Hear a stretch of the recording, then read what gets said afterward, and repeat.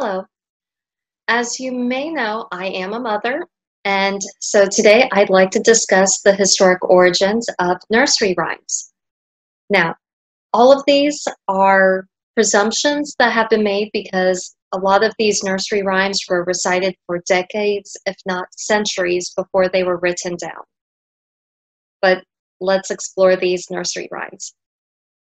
So welcome to the historic origins of some favorite nursery rhymes. Again, these are all presumptions made by historians and research that I've done because, again, these were recited for years and years before they were written down. And so that with some of the nursery rhymes, there are conflicting stories as to the origin or why they were written the way they were. And just in case you're curious, on the bottom left-hand side of the screen is a picture from Mother Goose's Melody from the late 1700s. First, why did nursery rhymes become a thing? Nursery rhymes are part of a long-standing tradition of parody and a popular political resistance to high culture and royalty. In a time when you could um, caricature royalty or politicians when that was punishable by death, nursery rhymes proved a potent way to smuggle in coded or thinly veiled messages in the guise of children's entertainment. In largely illiterate societies, the catchy sing song melodies helped people remember the stories and, crucially, pass them on to the next generation. In today's world, Many people may sing these rhymes without knowing the possible hidden meanings behind the words that they recite. The Victorians created the British Society for Nursery Rhyme Reform and went through great lengths to clean up many of these rhymes. By 1941, this society had condemned at least 100 nursery rhymes for suggesting unsavory elements such as poverty, death, scorning religion. One, one in particular mentioned prostitutes, it just unsavory elements. So many nursery rhymes um, were dark in their origin. This isn't too surprising when you think of all of the folk tales that the Brothers Grimm had collected over the years.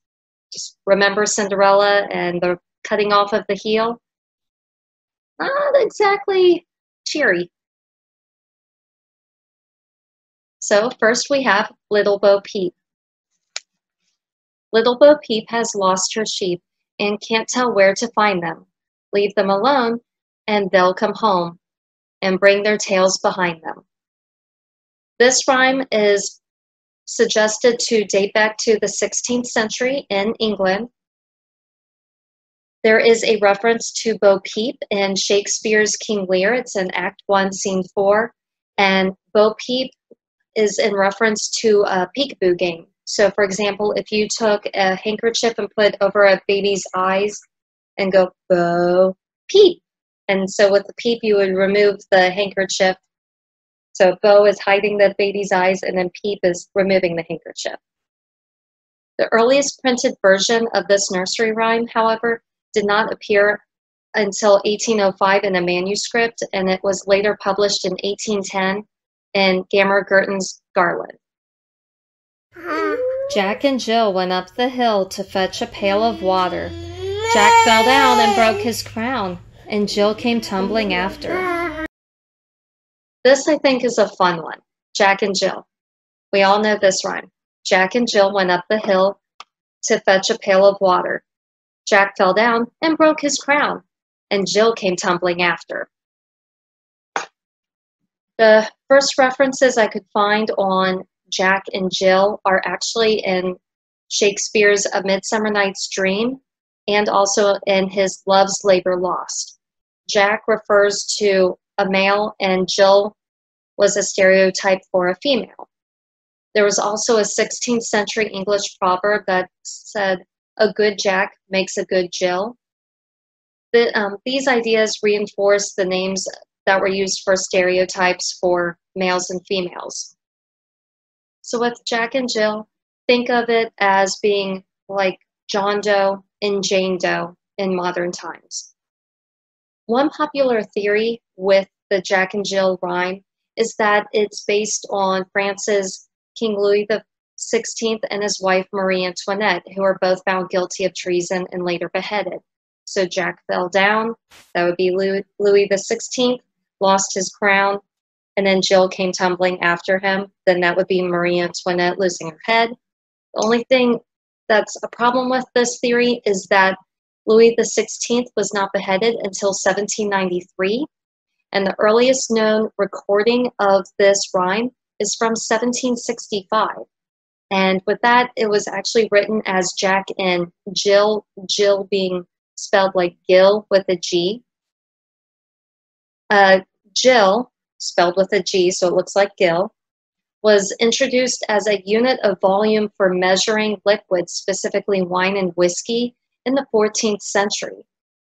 Uh, Jill is 4 US fluid ounces or 5 British fluid ounces, which equals 1 quarter of pint. A jack, which is also known as a jackpot or a double jigger, was half the size of a Jill, so one eighth of a pint. In other words, you need two jacks to make one Jill. Around 1625, Parliament refused Charles I's reform on the tax of liquid measures. He wanted to increase the taxes on the pints that were sold. So instead, he ordered that the volume of a jack, and consequently also a Jill, be reduced, while keeping the tax the same amount. This is where you get the jack, the price of the jack. He put the, the amount of liquid down, but was being charged the same amount. So then if the jack went down, then how much went into a Jill also decreased while the amount of the tax stayed the same. It was still a way for him to get more money from taxes. And if you look at some pint glasses today, some still have the half pint lines with a crown above them to symbolize this during Charles I's reign. Ba ba, black sheep, have you any wool? Yes, sir, yes, sir, three bags full. One for my master, one for my dame, one for the little boy who lives down the lane. Ba ba, black sheep, have you any wool? Yes, sir, yes, sir, three bags full. This rhyme is about the Great Custom. It was a tax on wool that was introduced in 1275. This tax supplied King Edward I with a steady income from the lucrative wool trade. Wool was an important export of England. So one bag for my master, that's for the king. One bag for the dame, that refers to the church. So that's two thirds of your money already gone. One to the king, one to the church, which only leaves the farmers one third of their earnings that was left. And some early recordings of this rhyme actually have the line, the last line saying, but none for the little boy who cries in the lane. And then on here, I've also got a picture of the the sheep from Mother Goose's Melody that was first published in 1765. Hickory dickory dock. The mouse ran up the clock. The clock struck one, the mouse ran down. Hickory dickory dock. This rhyme is about Richard Cromwell. He was the son, I believe, the third son of Oliver Cromwell. He succeeded his father as Lord Protector upon his father's death in September 1658. Richard, he had no interest in this position. He was described as being timid, like a mouse, as we see in this rhyme. He only held the position as Lord Protector for nine months. By May 1659, he had already submitted his resignation. And during his lifetime, he earned unfavorable nicknames such as Tumbledown Dick or Hickory Dick. Dick is a nickname for the name Richard. And I believe after he stepped down as Lord Protector. He moved to France for, I think it was, don't quote me on this, but I believe it was 20 years before he moved back to England. and the king allowed him to move back, did not see him at all as a threat because, again, he was timid like a mouse. Here's another one. Mary, Mary, quite contrary, how does your garden grow? With silver bells and cockle shells and maids all in a row. This rhyme refers to Mary I of England. She was also known as Bloody Mary. She was the elder daughter of Henry VIII. Henry VIII reigned from, I believe it was 1509 until, I want to say 1548, and then his son, Edward VI, took over in 1548 and reigned until 1553. And both Henry VIII, he started the church reform and moved from the Catholic Church to the Protestant Church, created the Church of England and became head of the church. Edward VI followed in his father's footsteps and was even more adamant as far as being Protestant. Mary, however, had been raised in the Catholic Church with her mother, who was the first queen of Henry VIII, Catherine of Aragon. So Mary was very Catholic. So when she stepped up to the throne in 1553, when Edward VI died without an heir, Mary wanted to move Catholic back to being, or move England back to being completely Catholic. She wanted to get rid of the Protestant religion and restore England to the one true faith. And Mary was Queen of England from 1553 until 1558. And I believe she had don't quote me on this, but I believe she put over 300 people to death for being martyrs, for being Protestant, or in one way or another, not being Catholic enough for her. So Mary was quite contrary.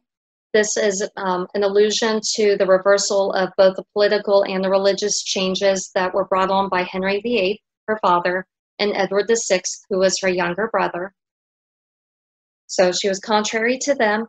Her garden is an allusion to graveyards. Silver bells and cockle shells are nicknames for flowers.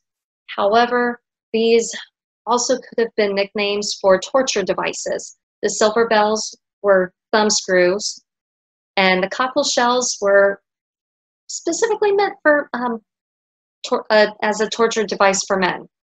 And I'll leave it at that.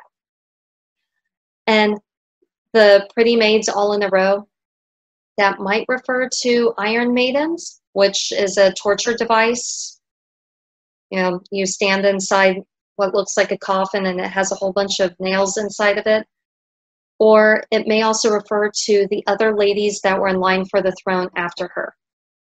If you do not know this part of history, after Edward VI died, Jane, um, this is where Lady Jane Grey stepped up as queen, queen for nine days because Jane was a cousin to Mary, and Jane and her two younger sisters each had a claim to the throne, as well as Mary having a claim to the throne, as well as her sister, who became Elizabeth I, had a claim to the throne, as well as Mary, Queen of Scots, who had a claim to this throne. And all of those claims branch from Henry VII who was their Mary's grandfather. So this pretty maids all on the road could actually refer to all of the maids because there were all these women in line for the throne, but no men. Old Mother Hubbard went to the cupboard to fetch her poor dog a bone. But when she went there, the cupboard was bare, and so the poor dog had none.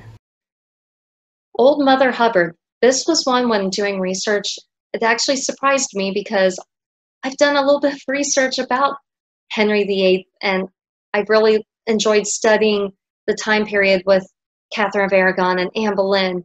And I never knew that this rhyme, Old Mother Hubbard, could have actually referred to um, Thomas Wolsey, who was cardinal and he was Lord Chancellor of England in the early 16th century.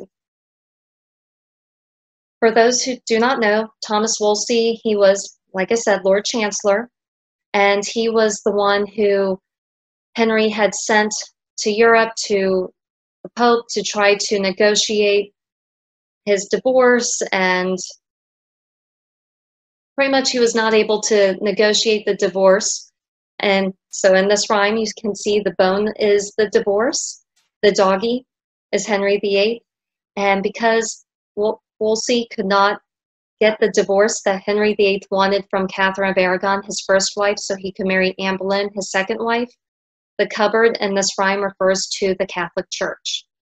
Because at this time, well, for part of this time, the Pope was actually being held captive by the King of Spain, who was nephew to Catherine of Aragon, Henry VIII's first wife. So when he's being held captive, the Pope really isn't going to grant Henry VIII a divorce and anger the person who's holding him captive, which meant Wolsey did not follow through with the divorce like Henry VIII wanted, and so Henry VIII was excommunicated from the Catholic Church and created the Church of England, became Protestant, and made himself head of the church.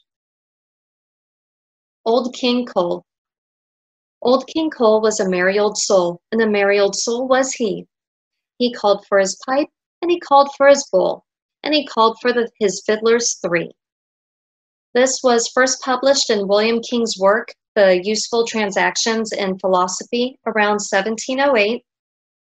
There when you do research on this, there are a couple of assumptions as far as which king this could refer to. Um, there's Cole the Old, who was the old King Cole. He was the king of northern Britain during the decline of the Roman Empire. There are also assumptions that it could mean the Cole who I believe was his son who um, became canonized as a saint. Or in, I believe it's Gaelic, Cole actually refers to music or a dance, and so this could actually just simply mean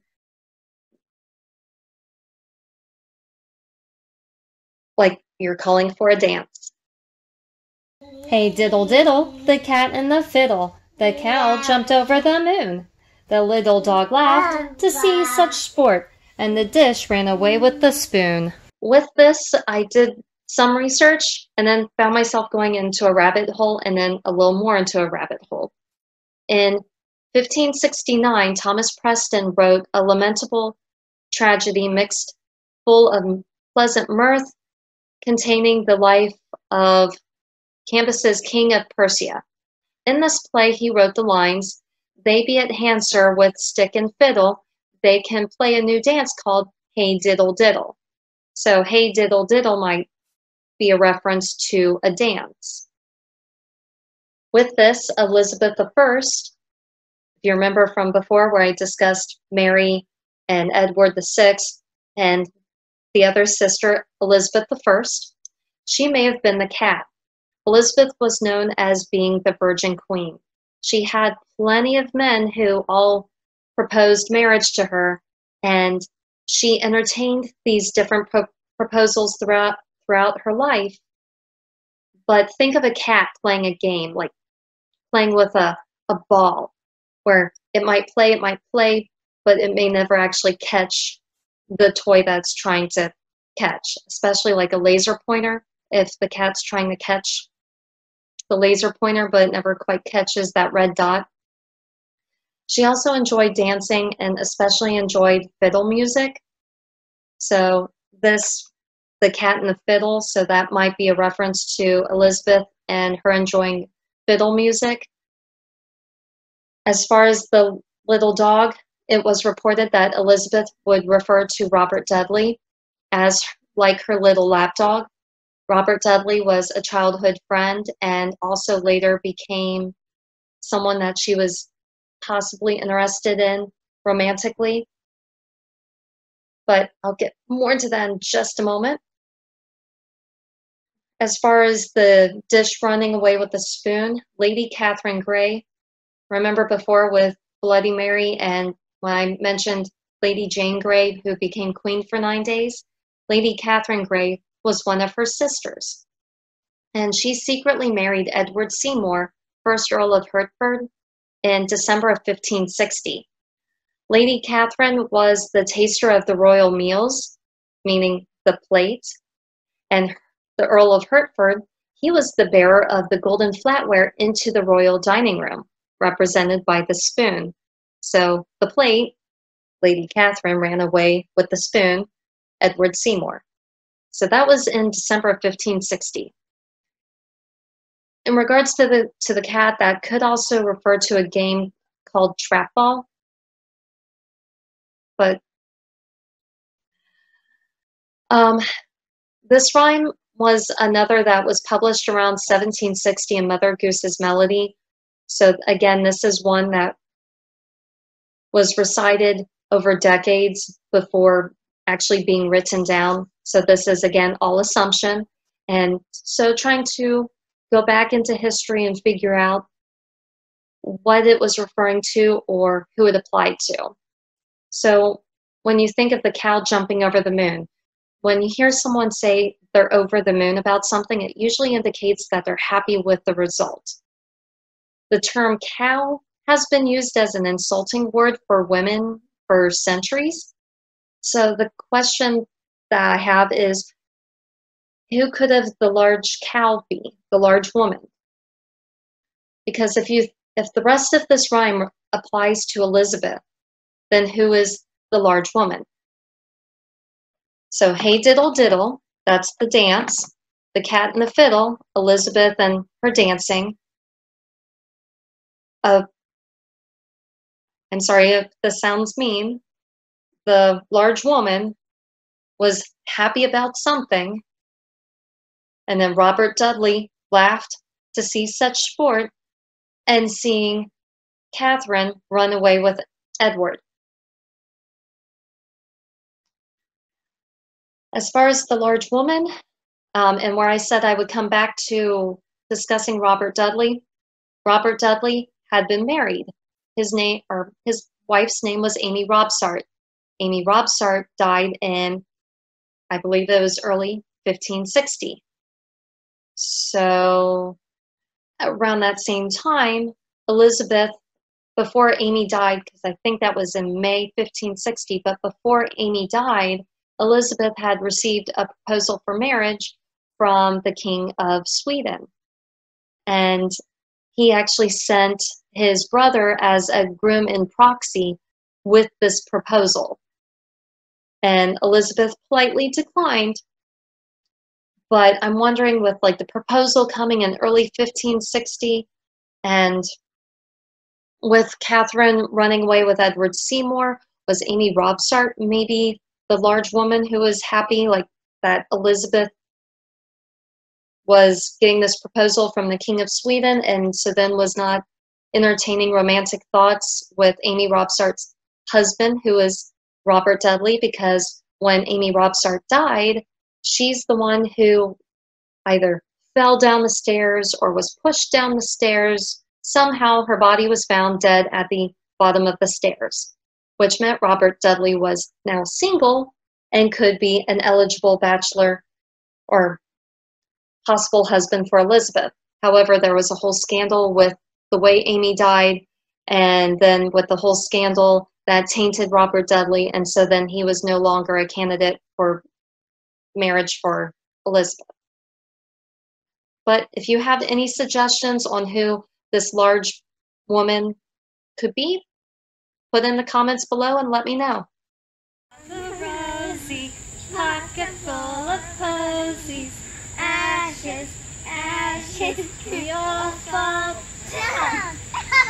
In 1665, a pneumonic plague, plague known as the Great Plague, affected England. The roses referenced in this rhyme may actually refer to the malodorous rashes that one received from this. The posies were either used as a preventative measure, hoping to prevent getting the plague, or also it could have helped cover up the stench. Because I read where posies would have been put on the on the carts that collected the dead bodies, posies would have been put around it to maybe help mask the smell a bit. And then the very end, we all fall down. We all fall down dead. Well, not exactly a cheerful children's rhyme. This one, Rain, Rain, Go Away, I've actually heard a couple different versions. Here's one. Rain, rain, go to Spain. Don't come back again. Rain, rain, go away. All the children want to play.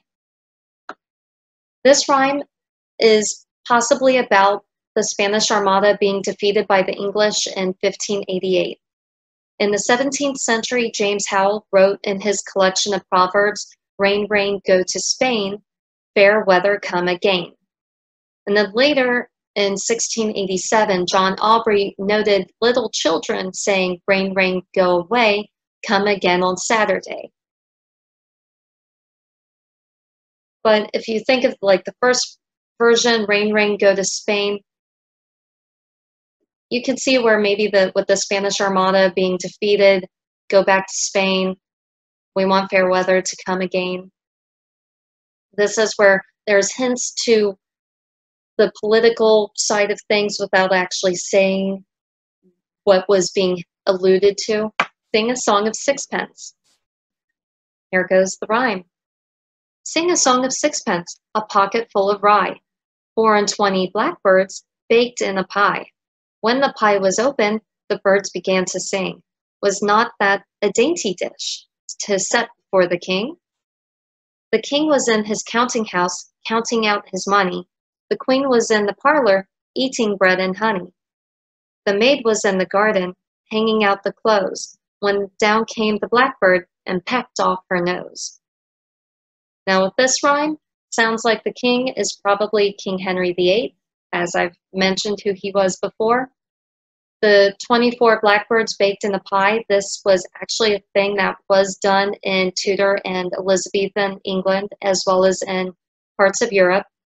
They wouldn't actually bake live birds. What they would do, they would bake the crust of a pie and think of like a pot pie. So you bake the crust and then they would remove the top layer of the crust, put all the birds in, put the top layer back on, and then serve the pie. And so when the pie was served during feast, you would cut into it and you would already hear the birds singing and chirping underneath the crust, and then they would cut into the pie, and then the birds would fly everywhere, and everyone had a good laugh. And with this rhyme, I'm thinking it the queen is Anne Boleyn and the maid is Jane Seymour, which I'll explain more of that in a minute. The king was in his counting house. This is probably in reference to Henry VIII. He came into great wealth after the dissolution of the monasteries, which started in 1536. With the monasteries having the dissolution, then all of the gold, silver, anything they had of worth, their land, everything went into Henry VIII's coffers. All of a sudden, he's into a lot of wealth. The blackbird, it may represent the demise of those tempted by carnal pleasures. Could be. But where I mentioned before with the queen being Anne Boleyn and the maid being Jane Seymour, there were also references I found where some historians believe that that might be Catherine of Aragon, the first wife of Henry VIII, as being the queen, which would make the maid Anne Boleyn. The thing is, Henry VIII started the dissolution of the monasteries about 1536, and if memory serves me correctly, Catherine of Aragon died in January of 1536, and then Anne Boleyn died in May of 1536. So between the two, I think there's a better chance with the monasteries going through the dissolution process during 1536 that there's a better chance that the queen would have been Anne Boleyn. A lot of people did not like Anne Boleyn already, which would explain why, like, she's in the parlor eating bread and honey. She's not dealing with public at all. She's away in her own little room eating nice food and that would help explain why like you know people didn't like her so if it's queen anne boleyn then the maid would be jane seymour who would then be a rival to anne boleyn which could explain why she got her nose pecked off as far as those being tempted by the carnal pleasures that was something I found in my research as a suggestion about the blackbird representing representing that. I also saw where um, some believe that the blackbird pecking off the nose actually represented the church, which, with that, if Catherine of Aragon were the queen, referenced in the rhyme, and Anne Boleyn is the maid, then that could make sense because Anne Boleyn, with the divorce of Catherine of Aragon and the marriage of Anne Boleyn, that helped bring about the Protestant Reformation in England, and uh, the Catholic Church pretty much took a back seat. While the Catholic Church did not like Anne Boleyn, they supported Catherine of Aragon, who was the first wife of Henry VIII. So if the Blackbird were the church, then it would make sense that the Catholic Church would then want to peck off Anne Boleyn's nose. But again, with most of these rhymes, do your own interpretation. And here's a simple one that I'm sure we've all heard many times. Good night, sleep tight, don't let the bed bugs bite. Sleep tight might be in reference to a rope bed. Uh, rope beds were invented in the 16th century. And if you've not seen a rope bed, you've got ropes that go vertically and ropes that go horizontally. And if these are not extremely tight, then the mattress in the middle starts to sag and then you're not sleeping tightly. So you want the ropes really tight so that the bed so that the mattress lays flat. Rope beds continued to be popular into the 19th century when coil spring mattresses were invented in 1865. Bed bugs refer to the bugs that were attracted to the mattresses used on rope beds. The mattresses were usually stuffed with something like straw or down feathers, and so bugs were attracted to this and not what you want to have at night when you're sleeping, being bitten by bed bugs.